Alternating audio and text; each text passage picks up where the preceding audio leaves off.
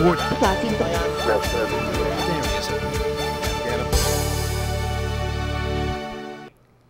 Đây là bản tin VOA Express của Ban Việt ngữ Đài Tiếng Nói Hoa Kỳ từ thủ đô Washington ngày 30 tháng 4 năm 2012. Lan Phương xin kính chào quý vị.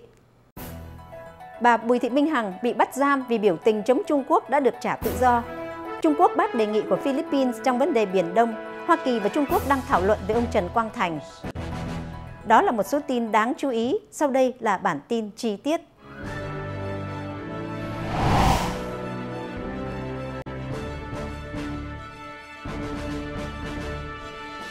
Theo tin của BBC và Nhật báo Người Việt từ California, thì bà Bùi Thị Minh Hằng, một phụ nữ từng tham gia các cuộc biểu tình đòi chủ quyền tại Hoàng Sa và Trường Sa, đã được trả tự do. Bà đã bị giam giữ tại cơ sở giáo dục Thanh Hà từ ngày 28 tháng 11 năm 2011. Nhiều quốc gia như Hoa Kỳ và nhiều tổ chức nhân quyền, trong đó có Human Rights Watch, đã lên tiếng bày tỏ quan ngại về tình trạng bà Hằng bị giam giữ mà không đưa ra xét xử. Đến nay, nhân dịp mà nhà cầm quyền Việt Nam gọi là ân xá vào dịp 30 tháng 4, bà đã được trả tự do và về đến nhà vào ngày 29 tháng 4 tại Vũng Tàu và theo tin cho hay bà còn rất mệt mỏi. Trung Quốc bác bỏ đề nghị của Philippines về hòa giải quốc tế cho vụ tranh chấp Biển Đông. Theo tin của hãng thông tấn Pháp, Trung Quốc đã bác bỏ một đề nghị của Philippines nhắm thông qua trọng tài quốc tế để giải quyết vụ tranh chấp chủ quyền ở Biển Nam Trung Hoa mà Philippines gọi là Biển Tây Philippines.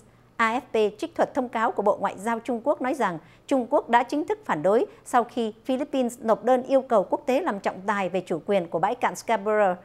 Thông cáo cho biết vụ trưởng vụ biên giới và lãnh hải Đặng Trung Hoa hôm thứ Bảy đã thông báo sự phản đối này cho sứ quán Philippines ở Bắc Kinh.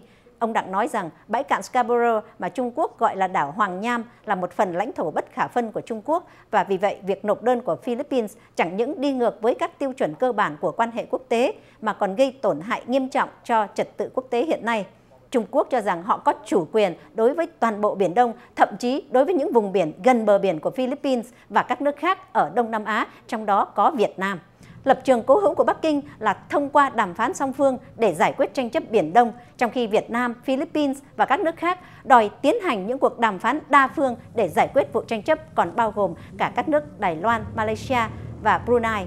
Bãi cạn Scarborough chỉ cách đảo Luzon của Philippines khoảng 230 km, trong khi phần đất gần nhất của Trung Quốc với bãi cạn này là đảo Hải Nam, cách đó tới 1.200 km về hướng Bắc.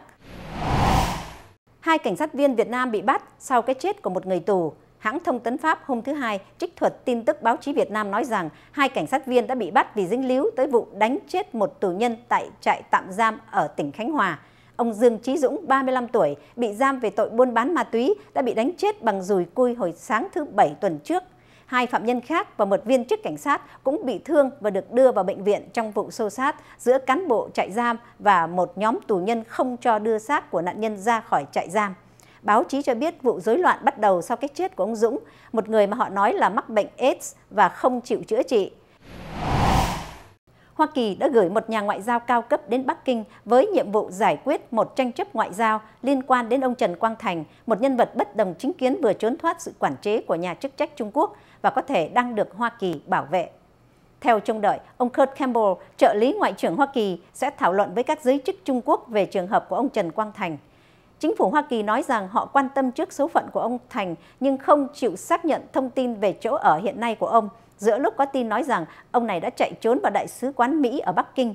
Một tổ chức hoạt động nhân quyền có trụ sở ở Mỹ nói rằng ông Trần đang được Hoa Kỳ bảo vệ và đang có thảo luận giữa Hoa Kỳ và Trung Quốc về chuyện này.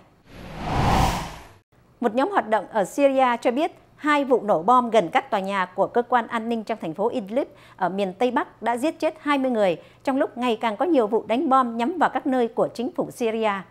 Nhóm hoạt động này nói rằng hai vụ đánh bom hôm thứ Hai nhắm vào các tòa nhà thuộc cơ quan tình báo của lục quân và không quân Syria.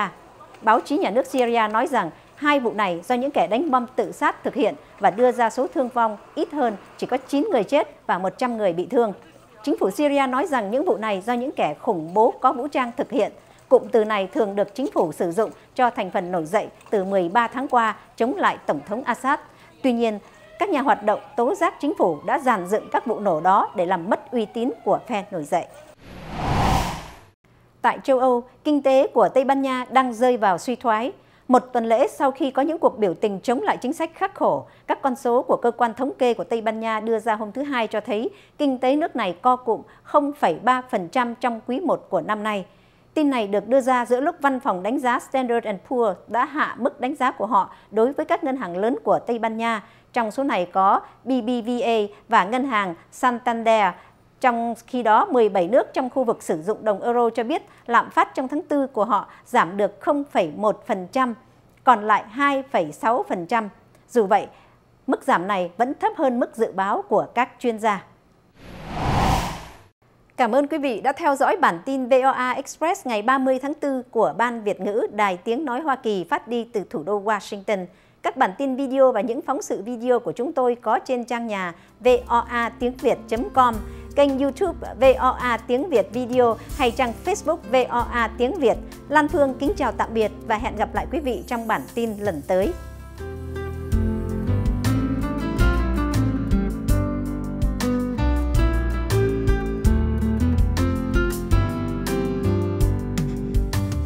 Đến với voa tiếng việt.com để cập nhật tin tức, xem các video thời sự phóng sự, học tiếng Anh, tìm hiểu về nước Mỹ, trực tiếp thảo luận trong chương trình tạp chí thanh niên, bình luận với các blogger của VOA, hỏi đáp y học, kết nối với các trang mạng xã hội của VOA trên Facebook, Google Plus, Yahoo 360 độ Plus và Twitter.